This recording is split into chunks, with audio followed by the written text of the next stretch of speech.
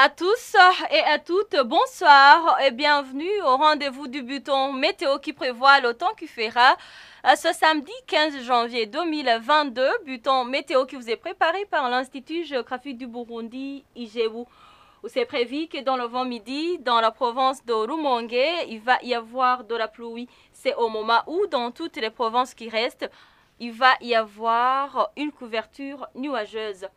La température est la plus basse de 13 degrés Celsius est prévue d'être enregistrée dans la province de Mwaro, tandis que dans l'après-midi, c'est prévu qu'à l'exception des provinces de Kirundo, Muyinga, Changuzo, Ruyigi, Karusi, euh, ainsi que Muramvia qui seront couvertes par de nuages, le reste de tout notre territoire, on prévoit qu'il y aura de la pluie.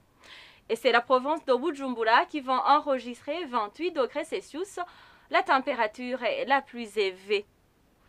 Et voilà, point final à ce buton météo qui prévoit le temps qui fera ce samedi. Merci à tous de l'avoir suivi et bon début de week-end chez vous. Au revoir.